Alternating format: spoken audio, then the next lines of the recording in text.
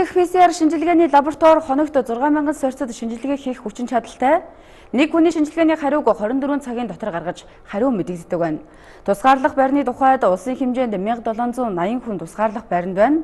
За 11 зочид буудалд 826 орны бэлэн нөөцтэй эх сард 3 удаагийн тусгай үргийн нислэгээр эрх иргэдийг тусгаарлахаар 498 ор бэлджээ. За цаашдаа тусгаарлах байрны зориулалтаар ашиглах боломжтой зочид буудалуудыг судлаж байна. Ийхүү ерөнхий сад оюун эрдэнэ улсын онцгой комиссийн шуурхай штаб, улсын 1-р төв эмнэлэг, цагдаа ерхий газруудад ажиллажээ. Энэ удаагийн хөл хорой бол өмнөх хөл хоройнуудаас нэг зүйлээр ялгаатай. Энэ бол нэг хаалганаас нэг шинжилгээ авъя. А нийтдээ 400 одоо 10 орчим мянган өргөд шинжилгээ хийж одоо үзнэ гэсэн. За тэгээ Улаанбаатар хот ямар хэмжээнд байгаа вэ гэдгийг бид тандал судалгаа гаргаад дараагийнхаа одоо стратеги руу одоо орох ийм зүйл. Нэг үрлэл бидний хувьд одоо илүү довтлож тоглох ийм тактик барьж байгаа гэж ойлгож болно. За бидний тооцоолж байснаас иргэдийн итгэх хүл их сайн байна. Нэг үрлэл бид нар 2 сарын 8-наас 10-ны хооронд төрийн албан хаагчдаас 62446 хүн хамрагдсан. За энэ шинжилгээнээс бол одоо эрэг тохиолдол гараагүй тийм ээ. Эрэг тохиолдол гараагүй. Тэгэхээр энэ бол бас их сайн үзүүлэлт гэсэн үг.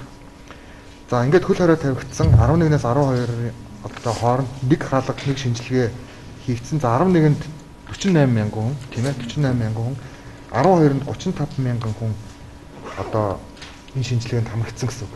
За сая бид нэр шинжилгээний явцыг очиж үзлээ. За маш нарийн ийм чимхлүүр ажлууд бас хийгддэг юм байна. А тэр төрийн албан хаагчдаа бидний хувьд бас их ойлгож хүлээж авах хэрэгтэй. Яг тэгэхээр тэнцээ одоо битүү хувцастай ийм лабораторид 24 цагаар одоо ээлж цахилдаад ингээд ажиллаж байдаг. А тэгээд 40 мянган одоо шинжилгээг хийх лабораторийн хүчин чадалтай Монгол улс. Тийм учраас өдөрт 40 мянгаас илүү бид нар авах боломжгүй гэсэн үг.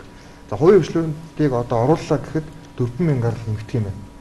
Тийм учраас 40 мянгатаа бариад бидний хувьд одоогоор төрийн албан хаагчтайгаа нийлээд 147 мянган одоо хүнд буюу өрхөд одоо энэхүү шинжилгээ хийгдчихэд байна гэсэн.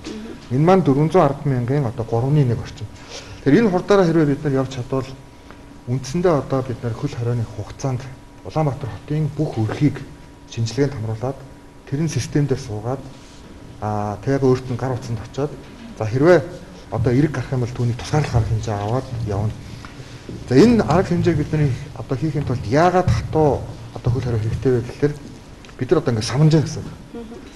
Аа хөл хорой хатуу хийгдэхгүй бол одоо самналт хийсэн газраас өөр хөдөлгөөн очоод халдвар тарах юм бол энэ том арга хэмжээ ямар ч үр дүнгүй болж хорно гэсэн. Тэгэхээр энэ ажлын ард бид нар гарчвал үндсэндээ Улаанбаатар хот одоо өнөөдөр бол яг эрсдлийн ангаар бол улаанд баг явж байгаа.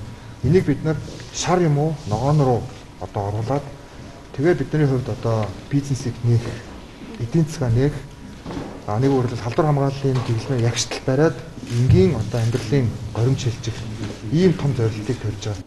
Ингээд ерөөсөө хянаг болгон ханаа ядчихсан. За энэ дараагийн дүн бол Монгол улсын төрийн тэргүүн